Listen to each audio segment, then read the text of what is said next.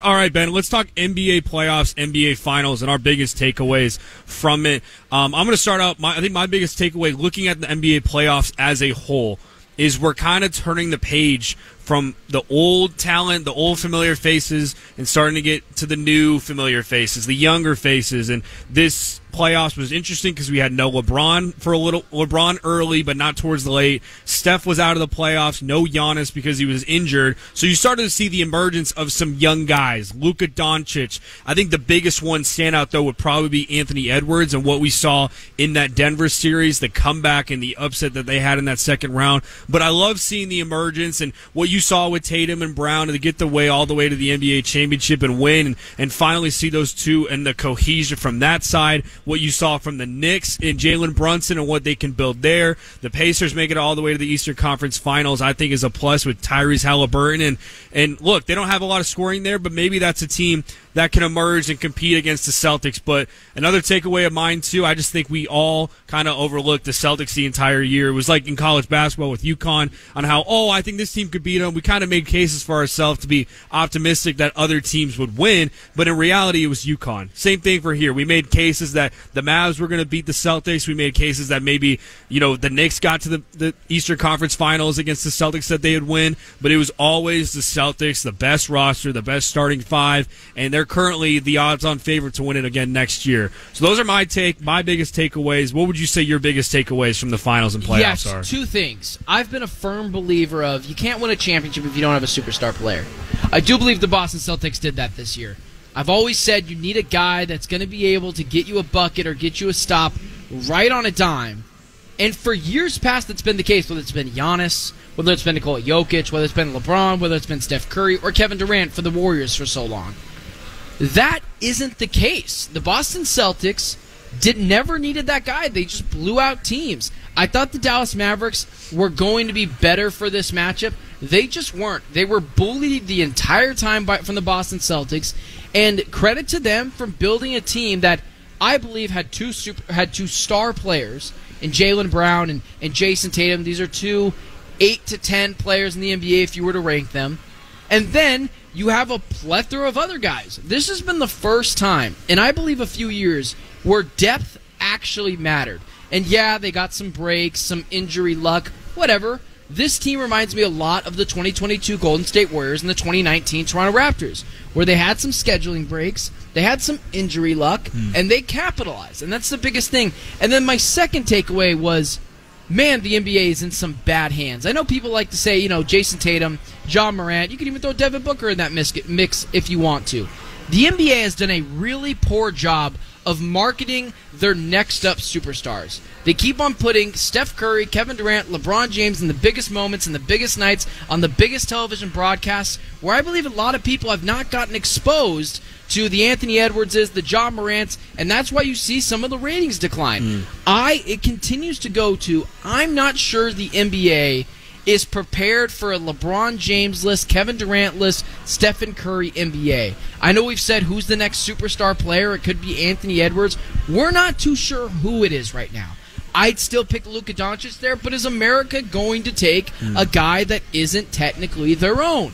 So uh, I, you see the ratings kind of decline a bit, and I wonder how much the NBA is prepared for the next generation of superstars. So that was another take of mine. No, it's a good point too. And to rattle off of that, you look at the, the NBA playoffs, and it may, it may be what you said of them marketing Jokic and some of these older players too. It may have affected the MVP voting. It may have impacted some other ones because you got a lot of voters out there that haven't watched the SGAs of the world, haven't watched the Anthony Edwards. And no offense to them, it's just the smaller markets of Minnesota and Oklahoma City versus the markets of LA, New York, and Philly, if that makes sense. So I, I think for the NBA, like you said, kind of tough hands. I also think another tough hands too. Can we get some talent in the Eastern Conference for next season, please? Can everyone just from the Western Conference, all the superstars and stuff, move east? Because you look at the odds next year, Ben. Celtics plus three hundred, Nuggets plus seven fifty, Timberwolves plus eight fifty. Then you got the Bucks at plus nine hundred. After that, Sixers, Knicks, eh, okay, but a lot of Western Conference teams, and for us being covering the Suns and stuff,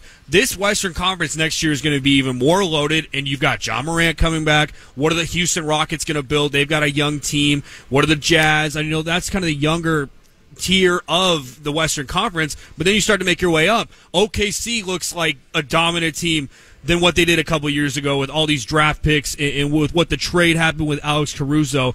And then you got the Mavs, the T Wolves, the Nuggets who are going to come back with vengeance.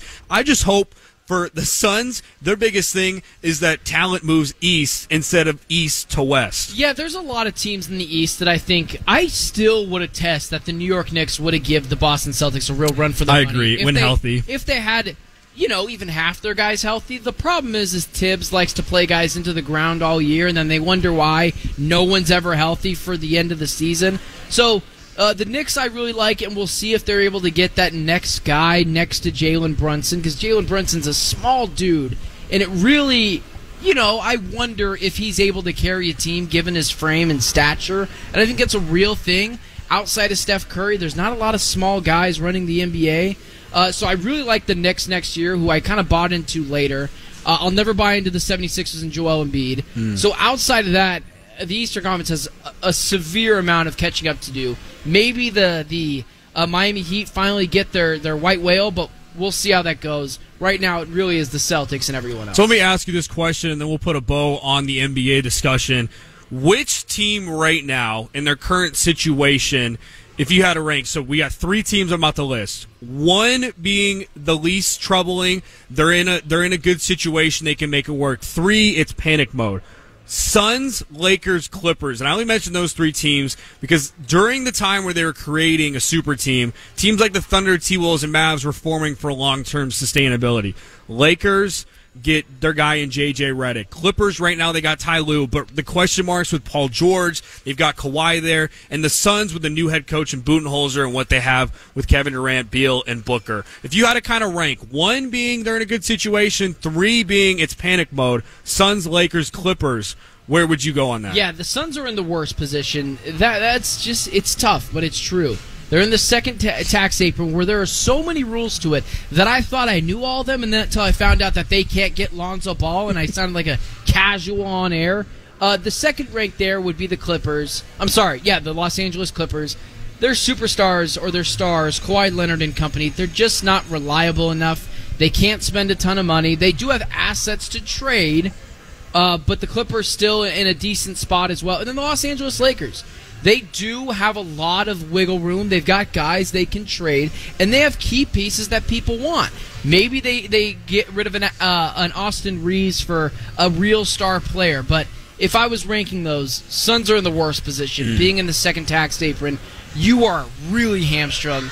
Clippers at two, Lakers at one. Yeah, it'll be interesting to see the Lakers and a guy that they really want too, and a guy that wants to be there. Based on that cryptic tweet he had when JJ Redick was hired, Trae Young, a name to look out for. Austin Reaves, Rui Hachimura, like you mentioned, could be on the trade block. Well, we're flipping the ties next segment. We're going to talk football, NFL football. What teams do we think are most overrated? What teams are the most underrated? We're going to look at the NFL win totals for this upcoming season. That's coming up next. Listen to Take the Points, Fox Sports 910.